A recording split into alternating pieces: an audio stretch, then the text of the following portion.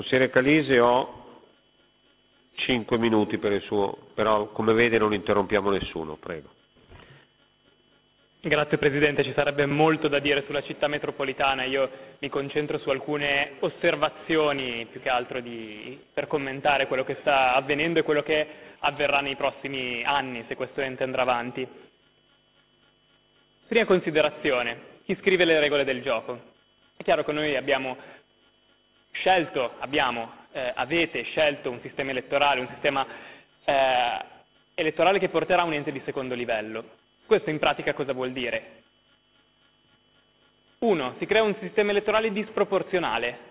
I grandi gruppi prendono tanto, i piccoli gruppi vengono annientati, all'inglese.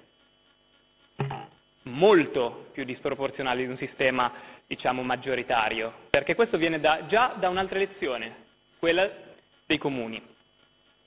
Quindi si avvantaggiano i grandi gruppi e si annientano quelli piccoli. Come diceva prima il consigliere Cappato, il Movimento 5 Stelle non riesce ad entrare, ma non è tanto questo un problema. Noi abbiamo fatto politica prima di entrare nelle istituzioni e continueremo a farla anche da fuori. Il problema è che si tengono fuori i cittadini. L'articolo 1 della Costituzione dice che la sovranità appartiene al popolo. Quindi, prima osservazione, la legge del Rio e eh, la città metropolitana infrange uno dei cardini degli enti locali, quello che eh, è stato siglato nella, nella Convenzione di, di, delle, con la Carta Europea delle Autonomie Locali, Strasburgo nel 1985, dice una cosa semplicissima. Gli enti locali vengono eletti direttamente, punto. Questo non avverrà.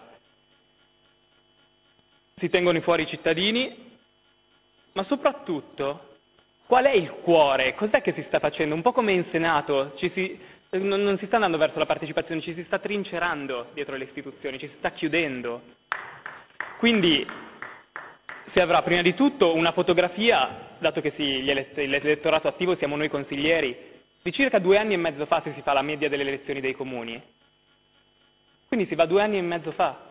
Il Movimento 5 Stelle non esisteva, ma è solo uno dei casi, io ne faccio parte, quindi non mi interessa questo. Interessa che tante liste civiche vengono tagliate fuori. Ma andiamo al cuore. Perché, perché si sta facendo questa manovra? Cosa c'è? Qual è il vero contenuto? È semplice. Qui non sono le province a chiudere, sono i comuni, i comuni piccoli a chiudere con, lo spostamento, con eh, lo spostamento delle competenze in materia di appalti. La città metropolitana diventa la centrale unica di acquisto. Vuol dire che si toglie a tutti i piccoli comuni l'unico potere che avevano, cioè quello di eh, gestire le, le, le opere e poter appaltare. Dal nostro punto di vista questo è il cuore, questo è quello che toglierà e non darà maggior eh, forza alle amministrazioni locali, toglierà competenze, toglierà poteri soprattutto ai piccoli comuni, conterà Milano, punto. Quindi eh, io finisco il mio intervento ricordando un appello che hanno scritto i consiglieri di zona del Movimento 5 Stelle, che eh, è stato protocollato e presto riceverà sia l'assessore che il sindaco. Consiglieri di zona del Movimento 5 Stelle Milano sollecitano l'amministrazione di questa città a mantenere le promesse elettorali. Si volevano aumentare le autonomie e la centralità delle zone. Nei fatti la legge del Rio toglie poteri ai comuni, con la creazione della città metropolitana, un organo di secondo livello e assolutamente non democratico. Perché non democratico? Eh, perché le elezioni di secondo grado mettono in crisi e non garantiscono l'uguaglianza e la segretezza del voto. Che toglierà ogni autonomia a tutti i comuni, a partire da quella della, che, di cui parlavo prima, della centrale unica appaltante. Sotto questa ottica è sbalorditivo constatare come i consigli di zona di Milano che amministrano zone con una popolazione superiore a 150.000 abitanti, non abbiano avuto nessun ruolo in queste elezioni.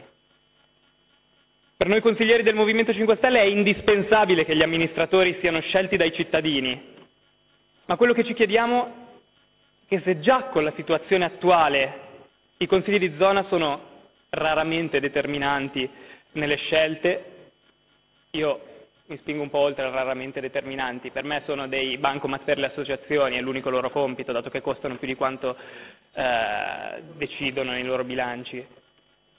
Eh, lo saranno ancora meno con la nascita della città metropolitana, altro che decentramento.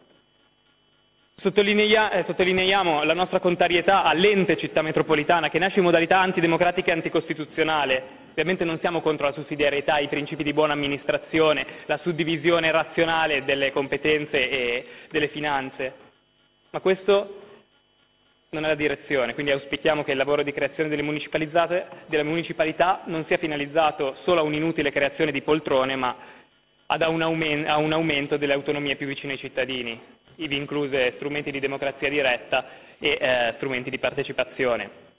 Come ho detto prima, non, non saremo all'interno di questo Consiglio metropolitano per le regole, lo accettiamo, ovviamente le, le regole le avete scritte voi del gioco, ma come facevamo politica prima da fuori, continueremo a farlo adesso e ovviamente inizieremo con il fiato sul collo anche in questo nuovo ente. Grazie. Grazie consigliere Calise. La parola